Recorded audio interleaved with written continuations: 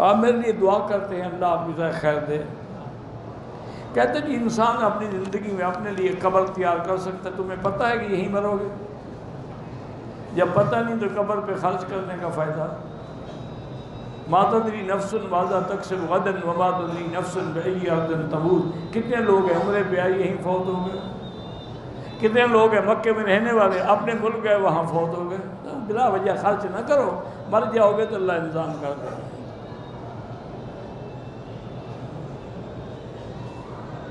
कहते हैं जी, आजकल पाकिस्तान में टीवी पर निजूमी लोगों के बड़े बड़े इश्तहार चलते हैं। आपके मुल्क में क्या नहीं चलता है? सब चलता है। बहरहाल, नजूमियों पर अकीदा रखना, एतकाद करना, उनसे पूछना, फिर यकीन करना कुफ्र है। छोटा मोटा गुनाह नहीं। अल्लाह पाक हर मुसलमान को महफूज रखे।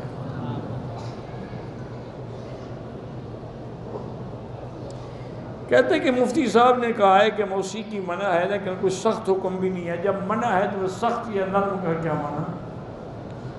जब हज़रत तस्लीम फरमा रहे हो कि सख्त मना है, लेकिन सख्त नहीं है तो कम से कम ये भी हमें बता दें कि हजूर के ज़माने में खलफाए राशिदीन में, अहल बैत में मौसीका का माहिर कौन था? किसी का नाम भी बता देते ना मुफ्ती साहब तो हमारी रहबरी हो जाती। एक आदमी ने कराची से नीयत की और चादरें जिद्दे से बांधी। अगर मजबूरी थी और चादरें नहीं थी तो कोई हर्ज नहीं। एक आदमी मदीने से मक्के आ रही, उसे हैज़ है। तीन दिन बाद पाकिस्तान वापसी है। वो नीयत करके आएगी, नहीं, अगर उसको ख़तरा है कि मैंने चला जाना फिर नीयत ही ना करे।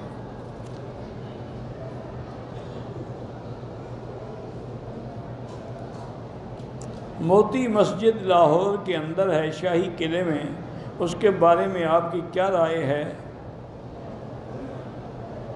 मुफ्ती साहब फरमाते हैं, उसके अंदर जनाब जी की दुआ के अल्लाह को पता जी, मैंने ना मस्जिद देखी है और ना मुझे पता है।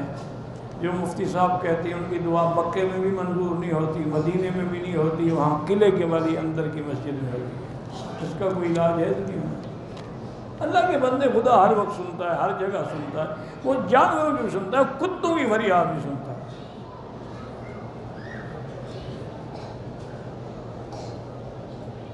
हमारी औरत ने सफ़ा मरवा से पहले बाल कटवा दिए बारह दम पड़ गई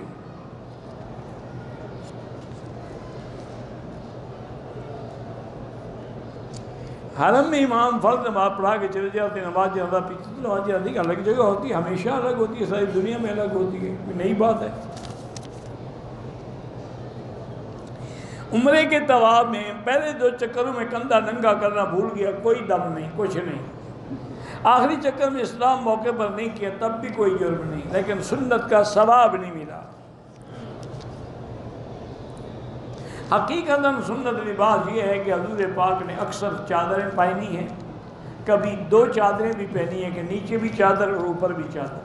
वरना चादर और लंबा कुर्ता जो छोटी पिंडली तक आता था, सर पे टोपी और टोपी पे अपना पगड़ी मुबारक।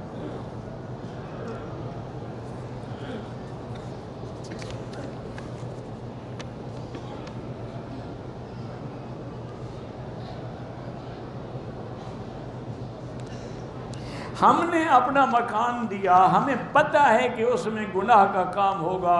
बाल चलाएँगे डांस होगा। बिल्कुल न दें, क्योंकि तुम भी गुनाह के काम में शरीक हो गए। अल्लाह का हुक्म है कि तावनु व तकवा। नेकी में तावन करो।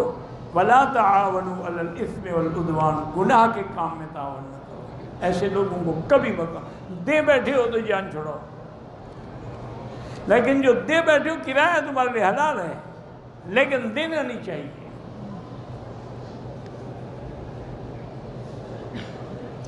मेरा भतीजा है, टेलीफोन में इंजीनियर है, उसको डिप्रेशन है तो उसको आप बता दें कि अल्लाह के कुरान की आयत है वलकामीन वलआफ़ीन अनिन्नास वल्लाहुबुलमहसिन अव्वल आखिर दरवी शरीफ पढ़ के हर नमाज़ के बाद सात दफ़ा पढ़ के फेरा करें। इन कोई डिप्रेशन नहीं होगा, कभी दवाई नहीं खानी पड़ेगी, कभी ब्लड प्रेशर नहीं पड़ेगा। चांदी की अंगूठी जायज़ हाँ कि जायज़ है।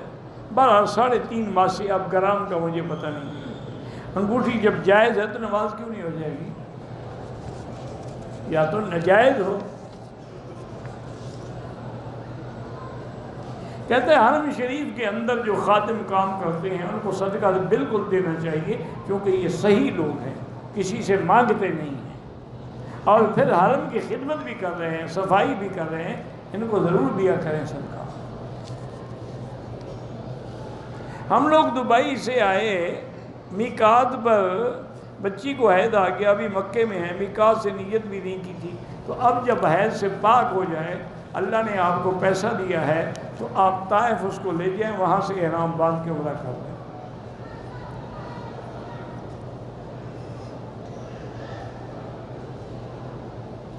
वाल साहब रहमत की कोई किताब उर्दू में लिखी हुई नहीं है शरा तिमदी लिखी वो भी अरबी में है। जुमेरात को छुट्टी होती है। शिरक और बिदत के रद में, यहाँ की सारी लाइब्रेरियाँ भरी हुई हैं। मकतबा हरम मक्की में चले जाए। ये नीचे बैठे हुए किताबें तकसीम कर रहे हैं सारी शिरक और बिदत के ख़िलाफ़ तो हैं और क्या है? ठीक है, उसने चादरें जिद्दे में बांधी, नीयत वहाँ से की थी। हज़रत उस्मान का घर हरम पार्क में किस तरफ़, जब हरम में आ गया तो किस तरफ़ क्या करोगे? हरम में आ गया सबको टूट फूट गया। हिजाजी का क्या माना है? हिजाज में रहने वाले।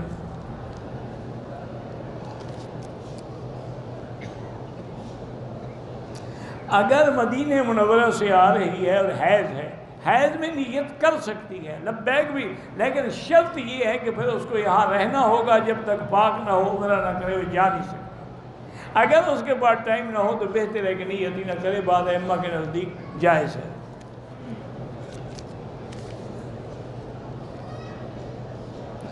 एक बिदती मौलवी ने कहा है कि मौसीकी जाए अल्लाह हिदायत दे छोड़ो ही।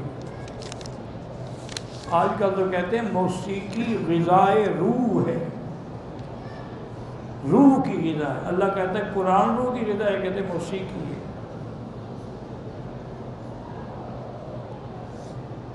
अगर कुरान पाक किया और होंठ हिलाए बगैर पढ़ो, नहीं, होंठ हिलने चाहिए। होंठ हिलाए बगैर किरात होती ही नहीं। किरात का मन ही यही है कि होंठ हिलें। बल्कि बाद फरमा दें थोड़ी सी आवाज़ भी पैदा हो जो खुद सुने। इसीलिए अल्लाह ने, नबी पाक को फरमाया ना कि आप ला तो हल रख भी लिसान ज़बान ना हलाएँ, सुनते रहें, हम आपके दिल में बिठा देंगे। तो माना ये हुआ कि ज़बान हिलाने से ही पढ़ना होता है।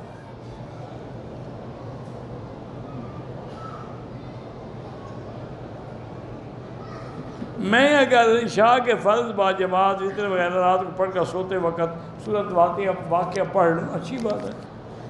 किसी वक्त पढ़ लिया करो सारी रात में।